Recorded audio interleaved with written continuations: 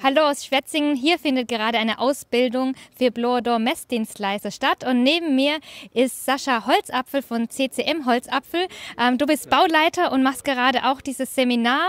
Ähm, was ist so die Herausforderung als Bauleiter? Die Koordination zwischen den einzelnen Gewerken, dass das Hand in Hand arbeitet. Das eigentlich müssten doch die einzelnen Gewerke wissen, dass sie Hand in Hand arbeiten. Tun sie das nicht oder machen sie das trotzdem nicht? Leider nicht so, wie es gewünscht ist. Da muss man doch viel Koordinationsarbeit leisten. Das heißt, in erster Linie versuchst du dann äh, Bauabläufe zu koordinieren und Verständnis zu wecken? Ja, das äh, mit den Handwerkern zu sprechen im Dialog und äh, zu sagen, hör ich zu, mach das und das, dass der andere das dann kurzfristig danach erledigen kann, damit alles schnell läuft auf der Baustelle. Und du bist ja hier und machst seit ein paar Tagen diese Weiterbildung zur Fachkraft für, Fachkraft für Differenzdruck, Messtechnik vom GH. Wieso möchtest du wissen, wie Blower-Door-Messungen funktionieren? Einmal möchte ich es wissen, äh, damit ich auf der Baustelle auch dafür sorgen kann, dass die Arbeiten richtig durchgeführt werden. Und ähm, möchte ich natürlich auch noch ein weiteres Geschäftsfeld für meine Firma eröffnen.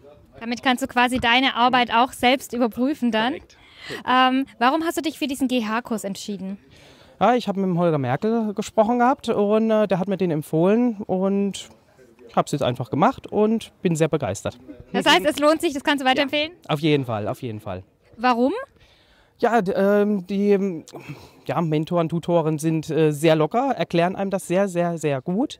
Und äh, man nimmt es sehr gut auf. Man kriegt sehr viele Informationen mitgeteilt. Aber ich denke, das ist gut machbar.